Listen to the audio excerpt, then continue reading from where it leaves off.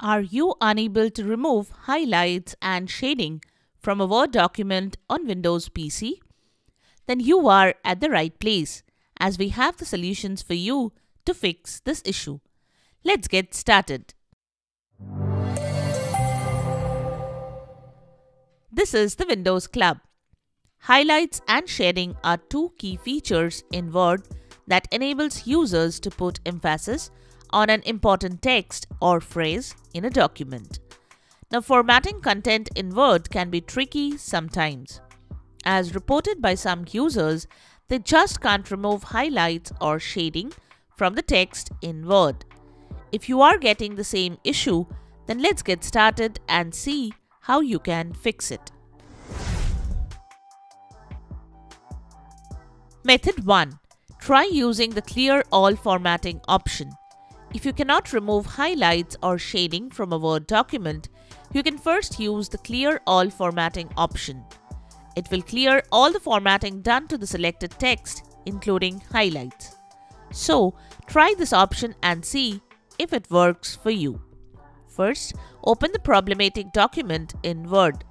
Now select the highlighted or shaded text from where you want to remove highlights. Next, Go to the Home tab and click the Clear Formatting button.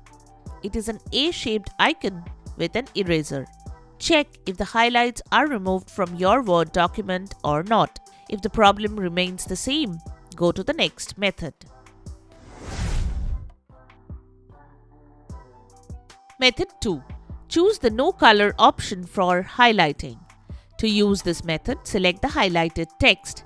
Then move to the Home tab and click on the Text Highlight Colored drop-down button. Next, click on the No Color option.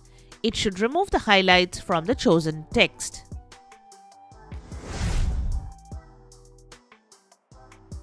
Method 3. Set the background color to no color. If you want to clear shading in a Word document, you can simply set the background color of the text to no color. For removing shading from a document in Word, select the shaded text and move to the Home tab. Now press the Theme Colors drop-down button and then select the No Color option. You can also use the Ctrl plus Q shortcut key to quickly remove shading from a selected text. So that's it. Subscribe to the Windows Club for all your tech solutions related to Windows. Thanks for watching.